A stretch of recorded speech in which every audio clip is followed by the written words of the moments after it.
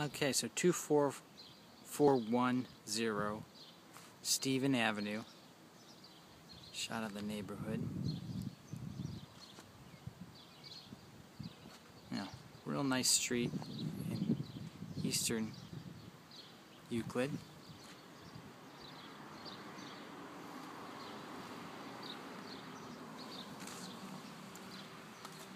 Take a look towards the back. Got some some new newer windows. All have their screens. These are vinyl replacement windows here. There's the neighbors. Two car garage. The roof's in pretty good shape.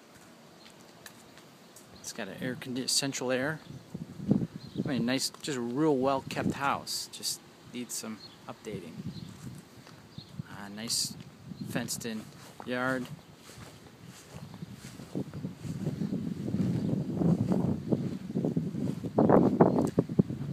There you go. So, there, there it is. Stephen Avenue in Euclid.